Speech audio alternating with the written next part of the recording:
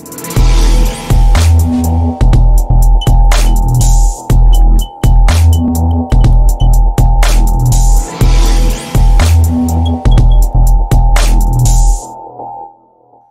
in this video we will learn about how to install a Joomla template.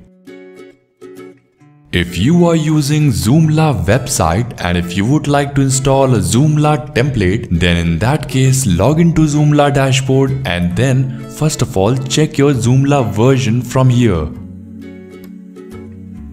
Now you can download templates from Rocket Theme or Template Monsters website.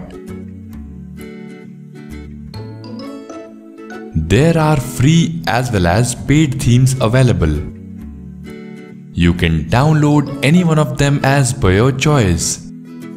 Now after downloading one of the template, go to extensions under your Joomla dashboard and then click over install.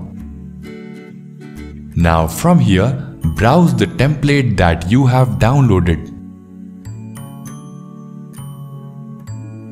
Now finally, click over upload and install so that your template gets uploaded and then installed. Now again, go inside extensions, templates and then styles. Now from here, you can set up your particular template as default.